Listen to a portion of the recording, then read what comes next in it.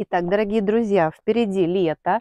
Хочу э, вам показать правильность подбора классического варианта костюма. Первое, на что нужно обратить внимание, вот в закрытом, застегнутом виде, вот ваш пиджачок, ваш лацкан должен лежать правильно. То есть вот сейчас на молодом человеке именно правильный размер костюма. Если он вам будет маловат, то лацкан вот так будет немного подпрыгивать вверх. Вот это первая деталь, на что важно обратить внимание. Дальше у нас плечо. Плечо должно сидеть ровно, без всяких вот выворотов плеча. Если плечо большое, это будет вот здесь вот большая-большая такая пустота да, в этом плече.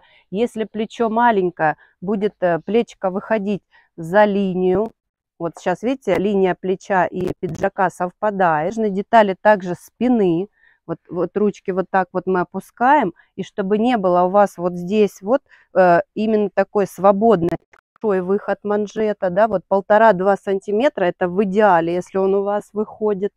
Э, ширина лацкана, но это уже на любителя, вот ширина лацкана тоже она э, где-то наполовину, до половины не должна заходить. Ну, там уже сейчас разные разновидности лацкана. Вот сейчас видите правильность пиджака, свободный такой лацкан у нас, умеренный рукавчик, сборки, складки тоже нигде нет. И еще э, по брючкам хочу сказать, да, что брючки не должны, вот сейчас я покажу, как правильно, видите, сидит троечка, брючки не должны здесь быть впереди мешочком, все должно лежать гладко, плавно.